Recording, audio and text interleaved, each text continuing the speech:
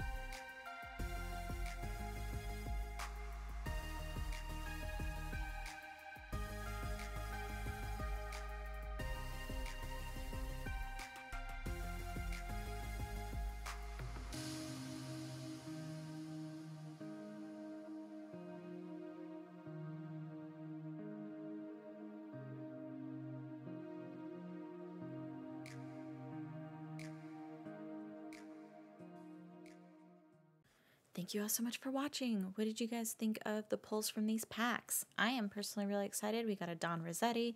Um, didn't have him in my collection, so that was really cool. We got Moe, Claudia, Ken.